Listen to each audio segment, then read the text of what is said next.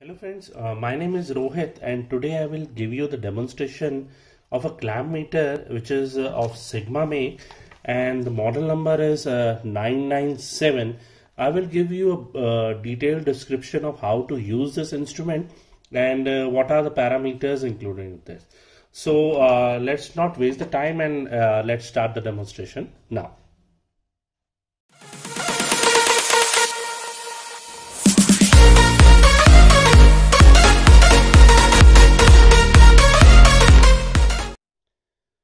So let's see first what we are getting in the box. Uh, we are getting uh, instrument, a lead set, a working manual and the calibration certificate. The battery is also included in it and I have already put the battery on the instrument.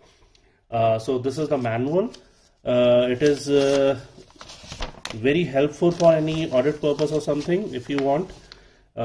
these are the lead sets provided with the meter and uh, the quality of the lead set is quite decent. And uh, this is the manual which is provided and it is having all the uh, details onto it.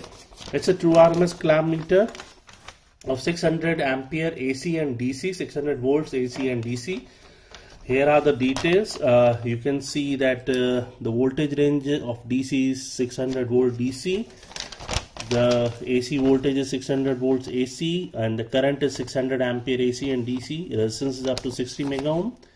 And there is a diode and uh, continuity also. This frequency up to 10 megahertz and capacitance you can measure up to 20 millifarad. So I will give you a, a demonstration of it uh, and uh, uh, let's start with the demonstration. So here we can see uh, that this is the clamp meter and all the details are over here this is the AC current range then there's a DC current range frequency millivolt uh, DC uh, voltage AC voltage and there are some other ranges also the capacitance diode uh, the resistance and the continuity part. Uh, so I will uh, give you a brief demonstration of how to use this instrument uh, now so I have put the batteries onto it and I have put the lead sets also. You can see on the com the black lead set and the red part on the other terminal. There is a point where we have to put the batteries. The batteries provided are of triple A uh, 1.5 volts uh, the small size one. And uh, now just turned on.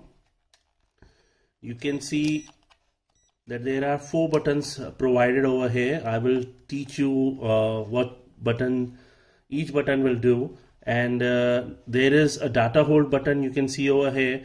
When we press it there's a hold button. And we when we press this for around two seconds it will show turn on the backlight which is of blue color. And uh, it will help uh, my friends when we are working uh, in a low light environment then it will help us to read the value what uh, you want to measure AC voltage or AC current or uh, other features so here it is. Uh, when I am going into this range firstly uh, then you can see there are four uh, modes over there. Then we have to press a select part.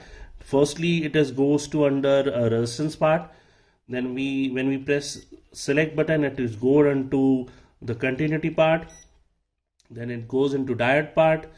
You can see the diode is also over there when we press it again you can see F part. F part means the farad of the capacitance part. Uh, you can measure the capacitance uh, of uh, capacitance value of any capacitor but uh, before using it kindly first discharge the capacitor and then turn uh, connected to the clamp meter. Otherwise uh, the clamp meter will get damaged. So I will show you some of the values. Now this is the DC voltage I'm having a small battery with me. It is showing 8.39 volts. Um, the battery is quite old so it is showing 8.39 otherwise it will uh, the, the battery is new. It will show around 9 volts DC so now I will uh, tell you how to measure uh, AC voltage onto it. I'm having an extension over there. You can see uh, it is an auto range clamp meter and uh, now you can see it is uh, coming to 238.1 volt uh, AC so it is working fine and then I'm going on to the resistance part. It is an auto part uh, I'm having some resistance with me. Here I'm uh, it will it is measuring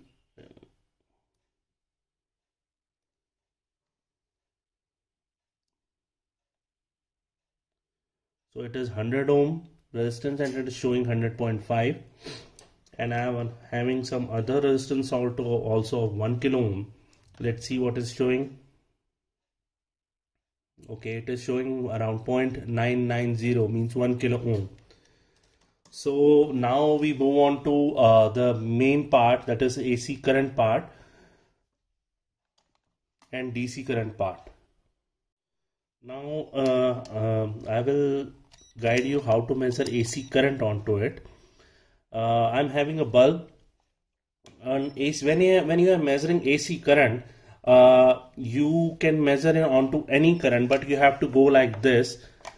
And uh, the clamp size is uh, 24 mm, uh, jaw size is 24 mm, and you you can see when we have to press these uh, both the points to get the clamp open. On AC current while measuring AC current you can use on any wire uh, either this wire or the that wire or you can say any live wire. But if you are measuring on to a DC current you have to uh, take the current clamp wire of positive terminal only because on that wire uh, the current is flowing and not on the negative wire. So I'm turning it on and let's see. You can see it is showing nothing. And I'm now I'm going to this point. The point is that uh, in the manual what I have uh, I have read it that uh, it cannot measure current in milliampere and it can measure current from 2 ampere to 600 ampere. The total range of this clamp meter is 600 ampere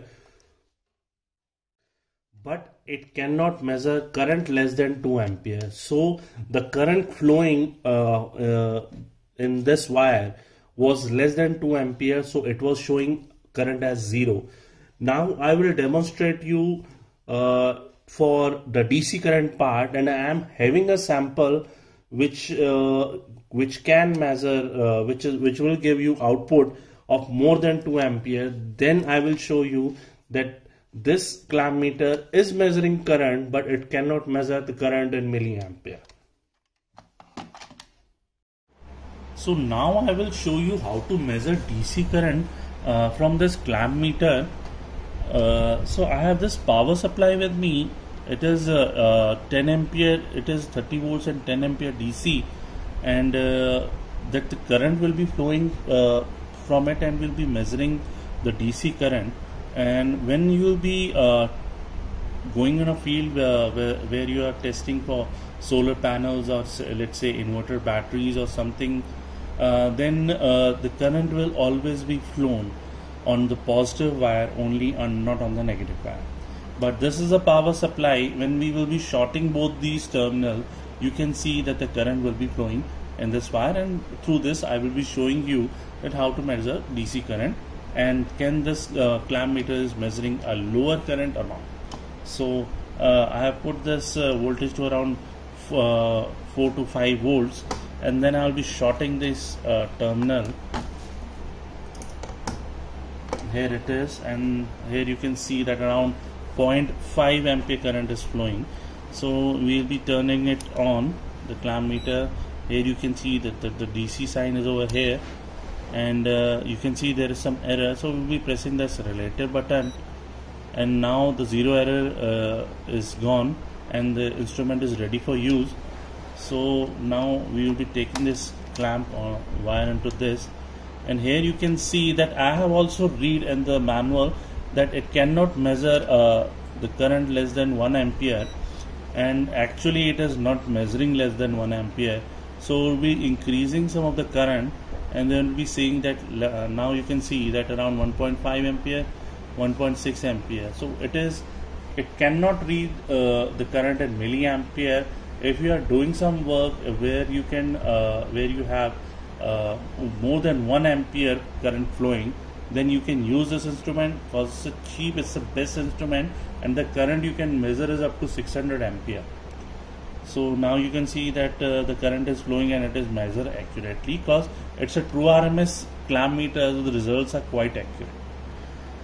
So uh, also I have uh, seen this instrument and I'm I am using this instrument for the, for the past few days and the quality of this instrument and the uh, built-in quality is quite decent if you have some uh, queries also you can contact to the seller over there and it is available on each and every platform. You can uh, buy directly also or you can buy through any online channel. So that's it for today. Keep uh, if you have some queries kindly do write in the comment section box and i will be uh, giving the answer as soon as possible. Uh, till then keep on liking my channel and subscribe my channel. I will be coming with some more Uh, technical instruments to show you. Thank you